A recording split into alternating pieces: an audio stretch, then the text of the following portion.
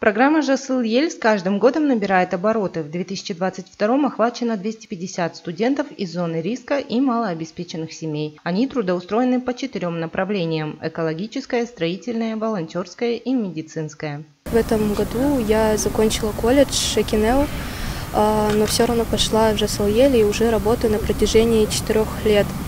А, на, протяжении этих четырех лет я нашла достаточно, достаточно знакомых и научилась многому чему.